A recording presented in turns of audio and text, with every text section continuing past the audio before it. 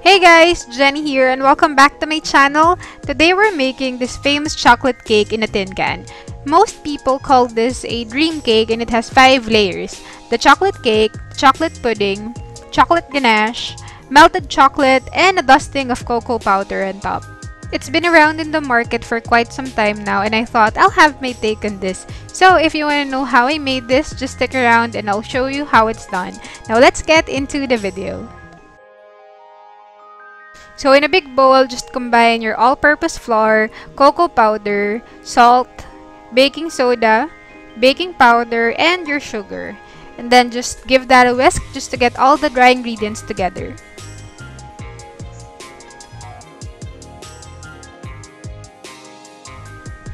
Now we can pour in the hot water and a half a teaspoon of instant coffee powder. You can actually dissolve the instant coffee powder in the hot water, but adding them separately works as well. Um, also, you will not taste the coffee in the chocolate cake, but I like to add a little bit of coffee because it enhances the chocolate flavor of the cake. So I just gave this batter a head start and started whisking. Now it looks super thick, but we are going to add the rest of the ingredients and that's going to be the buttermilk, vegetable oil, one large egg, and your vanilla extract. And then just using the same whisk, just beat it until it's one homogeneous mixture.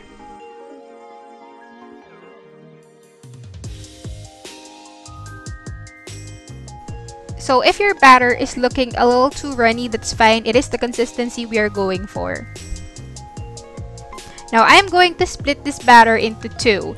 It is best to weigh it and then divide the weight into two just to make sure that they're equal and will look the same. So I have two 6-inch tin where I will bake these cakes in.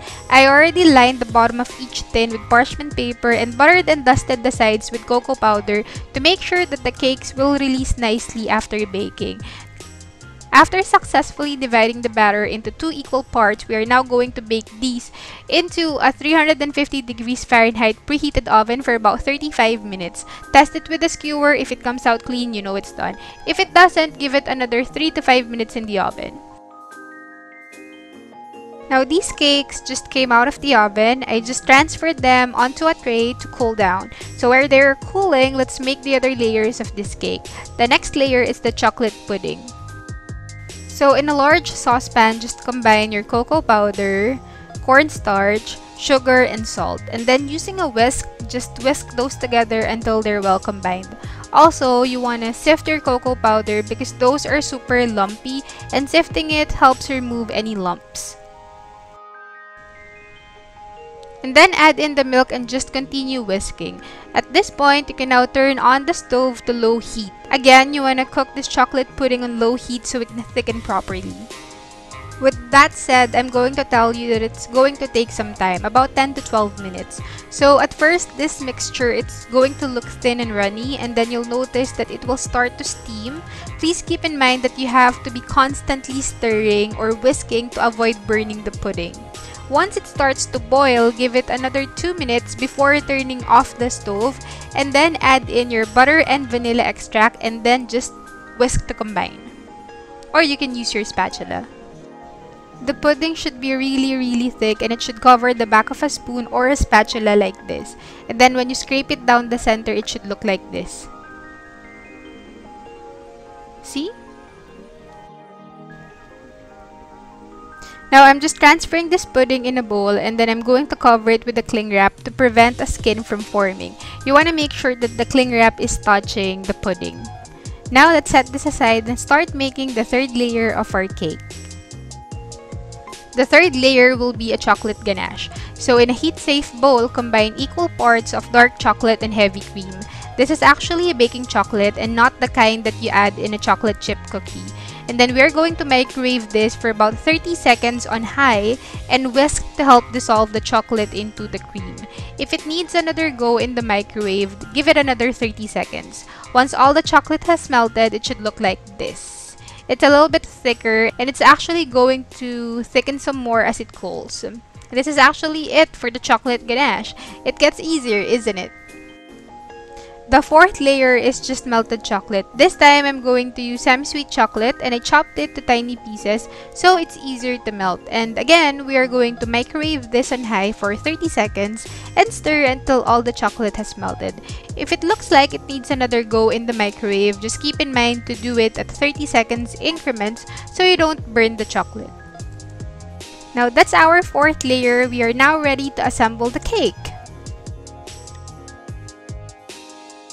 The chocolate tin I'm using is about 2 inch to 2.5 inches high and with the cake this high, it doesn't really give me much room to squeeze in the other layers of the chocolate. So with that, I'm going to have to trim one third of each cake using a cake leveler. So this is our first cake and then we're going to do the same on our second cake. Using a cake leveler makes this step super easy.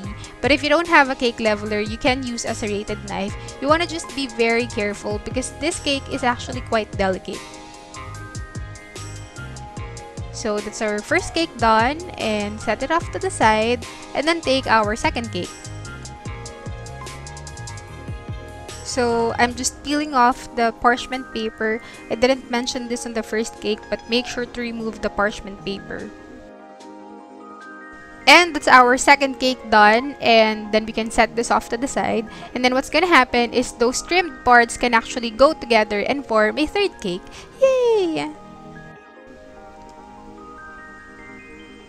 So to assemble the cake, put your cake into the tin can and add about half a cup or so of the chocolate pudding. And then I'm just spreading it to the cake using a spatula. I'm trying to get it as even as I can. And then we're going to add the third layer which is the chocolate ganache.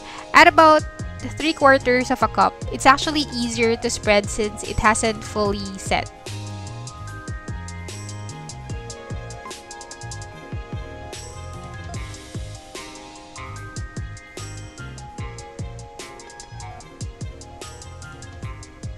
And then I'm gonna add the fourth layer which is the melted chocolate.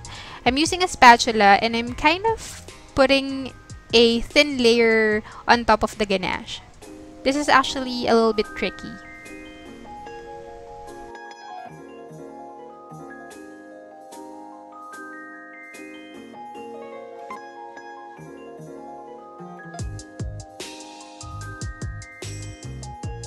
Once I'm done covering the top with melted chocolate, I'm just smoothing the top using an offset spatula. Now we are going to refrigerate this for about 5 to 10 minutes. We just want the melted chocolate to harden. Once the cake is out of the refrigerator, we are going to dust in some cocoa powder on top to finish off this 5-layer chocolate cake. Now we just need to repeat the assembling process to the other two cakes left. And that's it guys! I hope you liked this video and if you do, please give it a thumbs up and subscribe to my channel if you haven't already. Make sure to hit that notification bell below so you don't miss out on any of my uploads. Thanks for watching! I'll see you on my next video. Bye-bye!